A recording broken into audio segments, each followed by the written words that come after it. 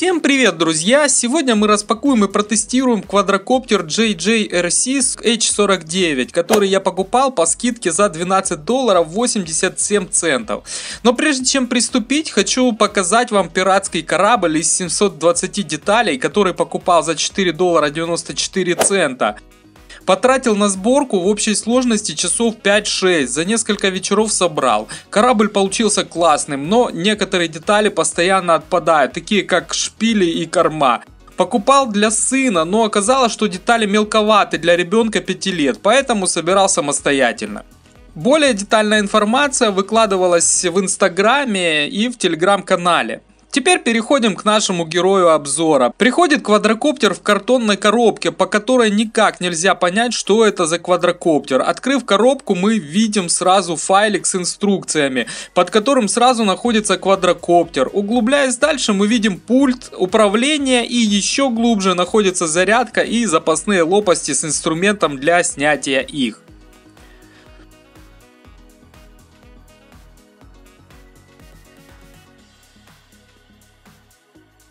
В инструкциях нет русского языка, но английский интуитивно понятный, учитывая, что все инструкции дублируются цветными картинками, сориентироваться очень легко.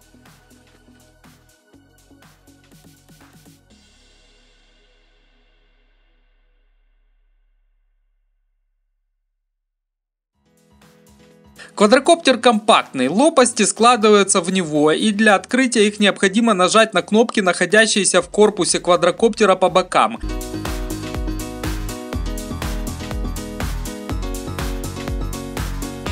Отщелкивается легко, также легко складывается. Квадрик легкий, всего 35 грамм. И учитывая габариты, его можно положить даже в нагрудный карман рубашки, не боясь того, что тот отвиснет. Вместе с пультом и зарядкой вес ровно 90 грамм.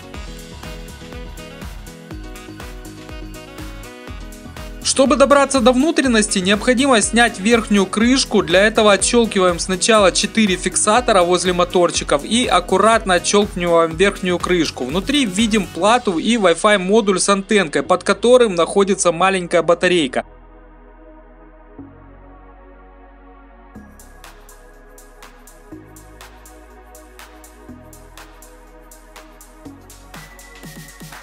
На ней нет данных и я не стал разбирать дальше, так как есть риск, что могу не собрать, поэтому скажу, что заявлена батарейка на 250 мАч и по моим ощущениям так и есть, потому что заряжается она около 40 минут. Во время зарядки горит индикация красным светом и когда квадрокоптер полностью заряжен, она просто тухнет. От одного заряда он летает приблизительно 5-7 минут, не больше. По управлению тут два варианта, либо пультом, либо смартфоном. Причем нас в смартфоне можно управлять двумя приложениями. Основное приложение JJRC TST, которое по умолчанию всегда включается на китайском языке, даже переключив на английский, при следующем запуске будет опять на китайском. Чтобы переключить его на английский, нажимаем на человечка в правом нижнем углу, далее третий пункт, потом первый пункт и опять третий. Все, перешли на английский. Повторяю, человечек, третий, первый, третий пункты. Итак, переходим в настройки Wi-Fi и подключаемся к точке доступа нашего квадрокоптера.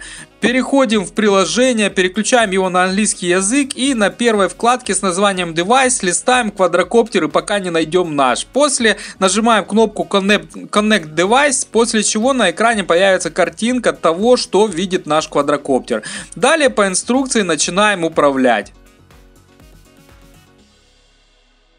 В условиях квартиры плохо управлять им, поэтому лучше запускать на улице при отсутствии ветра, так как он очень легкий и ветер просто будет мешать управлению. Я запустил несколько раз в квартире и все попытки через несколько секунд заканчивались врезанием в стены и отваливанием лопастей. Тут обращаю внимание, что для каждой лопасти есть свое место крепления, и если их перепутать, квадрокоптер не будет взлетать. Так лопасть с маркером А надо крепить к двигателю А, а лопасть с маркером Б надо крепить к двигателю Б. Если он у вас не взлетает, означает, что либо он разряжен и ему не хватает мощности, либо лопасти стоят не на своих местах, что более вероятней.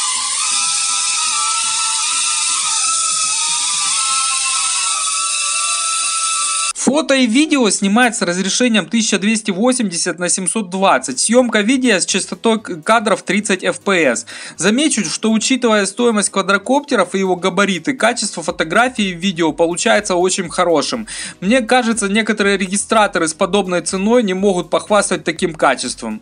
Пульт питается от двух 3А батареек. Управлять им тоже несложно. Для запуска включаем квадрокоптер и пульт. После этого левым джойстиком нажимаем вверх и вниз.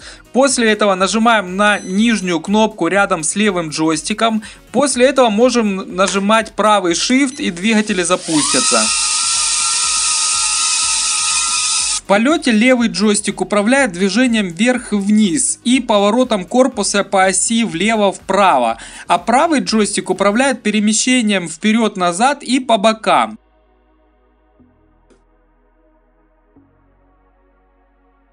Управление несложное и на улице у меня все получалось, но не такое удобное, как у модели H63, где управление идет джойстиком с гироскопом, где направление задается кистью руки. И это, по моему мнению, самый удобный джойстик для управления квадрокоптером, учитывая, что даже пятилетний ребенок с легкостью освоил управление. Когда управлять обычными джойстиками нужно привыкать, но у H63 нет камеры, поэтому придется привыкать к H49. Я доволен приобретением и в целом довольно неплохой квадрокоптер получился за эти деньги. Понравилось качество съемки, но огорчила не съемная батарея, так как разрядив за 5 минут заряд, до следующего полета придется ждать пока зарядится батарея, а не так как у других моделей. Можно заменить батарею при наличии дополнительной и просто продолжить полеты.